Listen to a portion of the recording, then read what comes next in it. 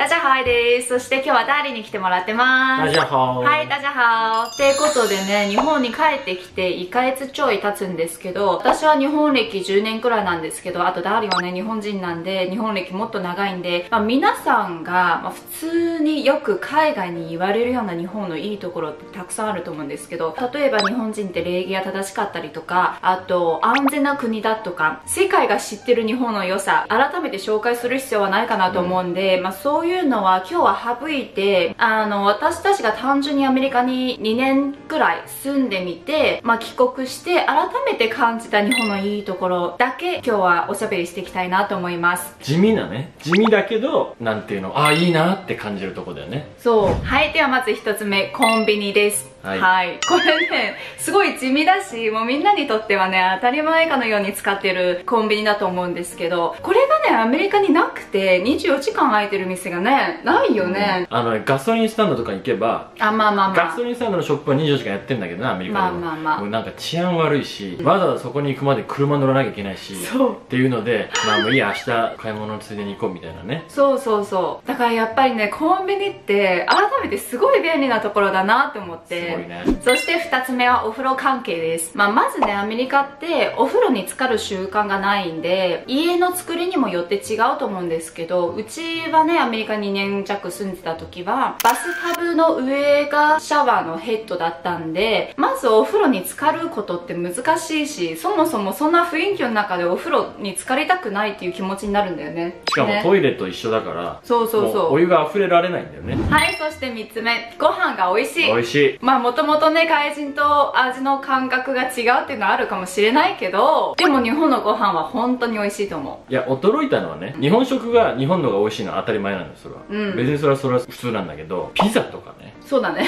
ソーセージとか、全然日本のものじゃない、むしろ西洋の食べ物なのに、うんアメリカより日本の方が全然美味しいね。そうだね。感動したね。味が複雑？そう、多分お出汁とかいろいろ使ってるからかもしれないんだけど、すごい味が複雑で美味しい。なんかね、アメリカの食べ物って基本的にピザだったらもうピザの味。食べ物の味ってストレートだよね。ストレート。トマトとチーズみたいな、そうそうそう。それだけなんだけど、日本だとなんかね、感動したね。奥があるね、深みがあるそうそう、深みがある。うんそうそうい。ろんな味がする。あとデザートもね日本のが美味しいんだよね、美味しいね。そうアメリカのデザートはね甘いとりあえず甘い、うん別にね安いお店だから甘かったっていうわけではなくてちゃんとした高級なレストランに行ってもデザートはすごい甘いんだよねその甘さは別に高級な甘さではなくて砂糖いっぱい入れてるんだろうなみたいな甘さなんだよね砂糖食ってるみたいなもんだもんね。そうアメリカのデザートって見た目すっごい美味しそうじゃん。そうそうそうね、なんかもう大きくて、すごい美味しそうなんだけど、食べるともう全部ね、甘ったりんだよね。ってなるねそして4つ目便座があったかい。高い。今日言ってるポイント全部しょうもないかもしれないんだけどだってアメリカにいた時にうちはモコモコシールあるじゃないですか。便座の上に貼るモコモコシール。多分100均とかにも売ってるやつだと思うんですけどあれを貼らないと冷たいんだもん。けど日本はさ便座があったかいからさそういうの貼らなくていいしやっぱり日本の便座は結構海外でも人気が高い商品だと思うんですけどまあ理由がわかるよねうん、そうウォシュレットが海外はないとかっていうのはよく聞くけど、うん。そもそも便座の温度そうだね。今回ねそう改めて感じた。そして5個目チップがないところ。日本はチップがないのにこんなに素晴らしいサービスを提供してる国っていうのに感動した改めて。アメリカもねあの丁寧にサービスしてくれるところは丁寧にやってくれるんですけどでもやっぱりアメリカにはチップ文化があるんで、まあ、自分が丁寧にサービスした分だけ自分にチップが入るんで割とねチップ代のために頑張ろうとする人もいるんだよね。なんかねだから日本は東京は特にね物価は高い高いってみんな言うけど、うん。全然高くないね。だからアメリカなんかね、普通にその税金も乗ってそうだね。それでさらにプラス15%のチップが乗るからメニューで見てる金額よりもだいぶ上に行くじゃん。そうだね。日本はまあメニューに載ってる金額は別にアメリカとそんな変わらないしで結局チップ乗らないから、うん。全然安いとう思うんだよんね、そうだね、うん。やっぱりねねアメリカは丁寧にサービスしてくれる人は丁寧にやってくれるんですけどそのいい人と悪い人の差がちょっと激しいなっていう風に感じてたんですね、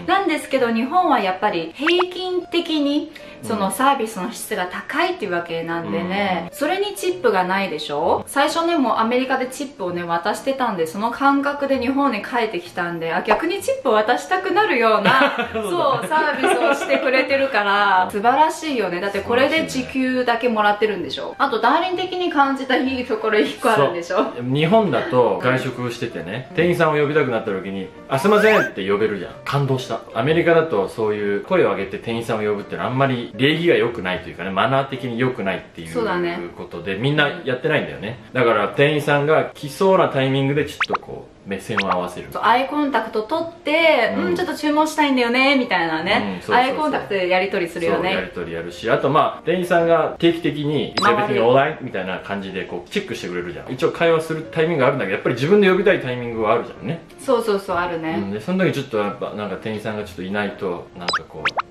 みたいなのがあるんだけどちょっとせっかちに良くないって言いたいでしょ？そうそうせっかちにはね良くない、うんなんだけど日本だともうちょっとねなんか呼びたくなった時にまあさすがにそんなねいきなり「あー」みたいな言わないけどすいませんそんな大きい声では言わないんだけど。ちょっとまあ「あすいません」みたいな感じで呼んでも全然問題ないからいいね。そうだね。あーせっかちにはいいよ。私はねまだ呼べない。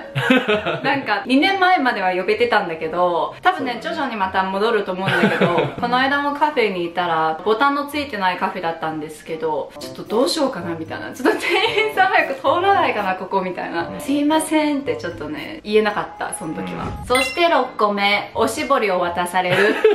そうほんとしょうもない、ね。超地味なんだけど、うん。おしぼりって大事じゃないですか。特にコロナの時はね余計ね。でアメリカはねおしぼり渡してくれないです。だからまあやっぱり衛生的にねご飯を食べる前に手を拭きたいじゃないですか。なんでうん。アメリカの時は、まあ、自分でウェイトティッシュを買って必ずバッグの中に入れてたんですけどあのおしぼりを渡してくれた方が嬉しいよね。隔離が終わってダーリンと焼肉食べに行ったんだけどでそこで普通におしぼり渡してくれたんですね。そのおしぼりに感動した。あおしぼりくれるんだって思って。まあアメリカはねあの高級なレストランだったりあとちゃんとしたレストランだと、まあ、レストランによってまた違うんですけどお食事の後におしぼりっぽいものを渡してくれるところがあります。ね、うんあるよね。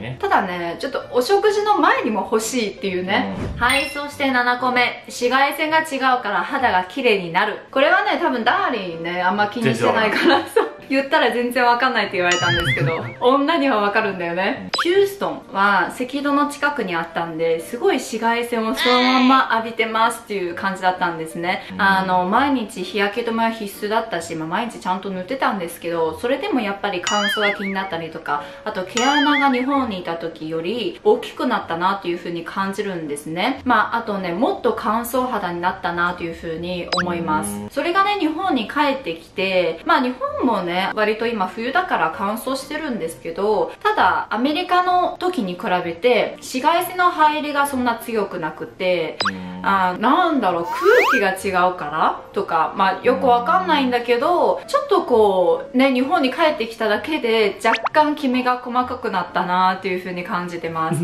まあねあの、まあ、別に俺は肌のキメとか気にしてないけど、うん。太陽の強さは全然違うよね、うん、サングラスを、ねそう痛くなる、うん。肌が、うん。あとサングラスをかけないとさ眩しくて目を開けられなくない、そうだね。はいという感じでね日本に帰ってきて改めて感じた地味だけど意外だけどいいと思ったところ7つについて紹介してきました。もちろんねアメリカに行った時に感じたアメリカのいいところもあるんでね、うん。今から皆さんにも紹介していきたいと思います、はい